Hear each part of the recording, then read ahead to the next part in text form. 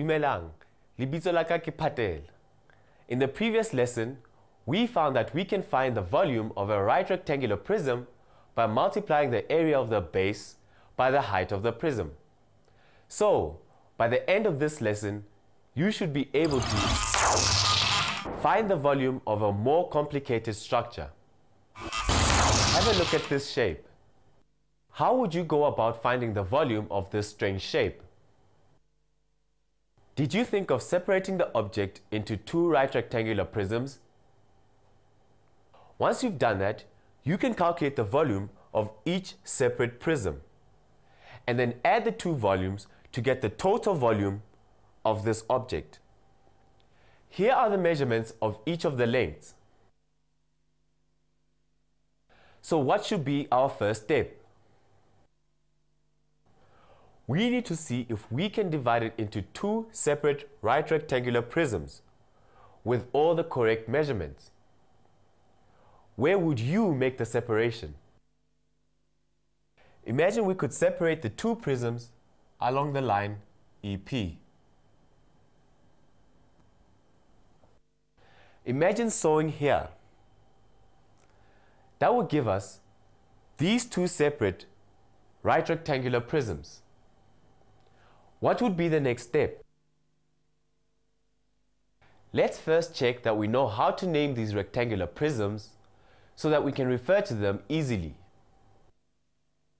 We name a prism by its bases, that is, this face on the bottom and the face parallel to it. So we can call this prism I, J, F, E,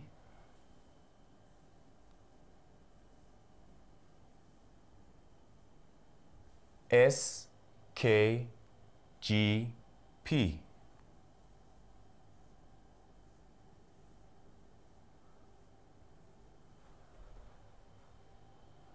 Can you work out what the other prism would be called? It would be called prism A, B, C, D, R, S, P, H. Okay, let's go back to putting the right measurements on our two separate prisms. If we look at the original structure, we see that the total length of HG was 12 meters and the length of EF was 5 meters. Can you use this information to find any other lengths? Yes. We also know that EF is equal to PG, which therefore means that PG is equal to 5 meters.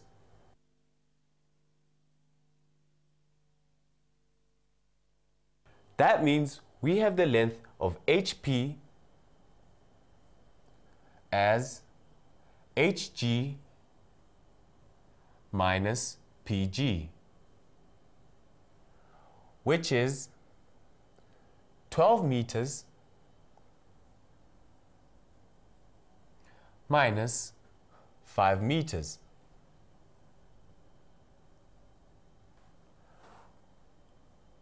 which is 7 meters.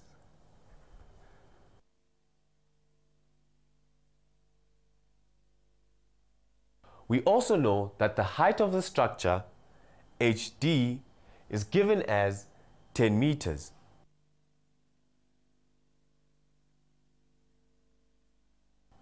And we also know that the smaller side, JK, has a height of 4 meters.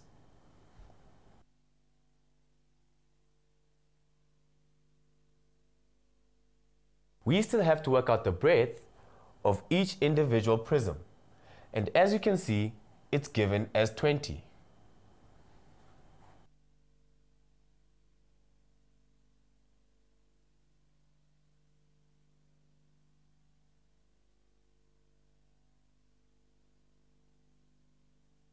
Now we're ready to begin our calculations. Let's start by calculating the volume of the bigger prism. All we need to do is apply the formula for finding the volume of a right rectangular prism, which is area of base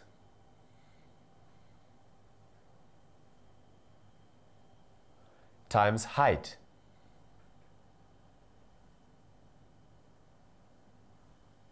So the volume for this prism is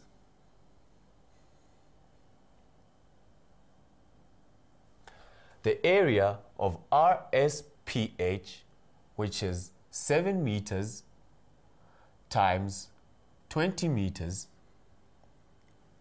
multiplied by the height DH, which is 10 meters,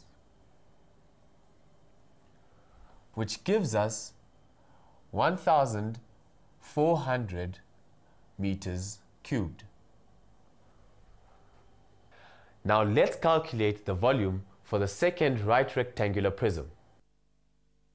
So the volume is equal to the area of SKGP, which is 5 meters, times 20 meters, multiplied by the height jk, which is 4 meters, which gives us 400 meters cubed.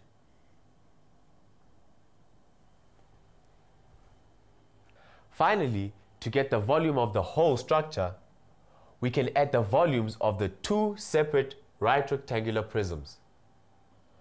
So the volume of the total structure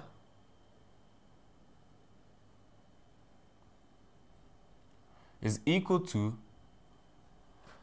the volume of A, B, C, D,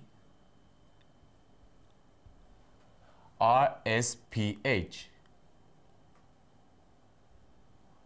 plus the volume of I, J, F, E, S, K, G, P.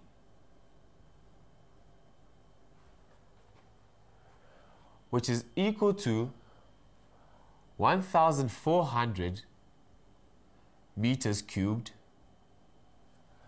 plus 400 meters cubed which is equal to 1800 meters cubed. So the volume of this entire structure is 1,800 meters cubed. Today, we have seen how to find the volume of some complex objects by separating them into right rectangular prisms and then finding the sum of their volumes. Be careful though, not all objects can be divided into right rectangular prisms. We will have a closer look at this statement in the next lesson. Now for our task. Make a copy of this diagram. Then work out the volume of the whole object.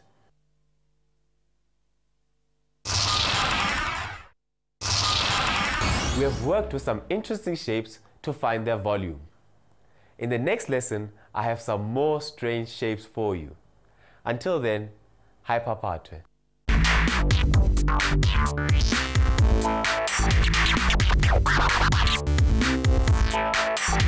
Patwe.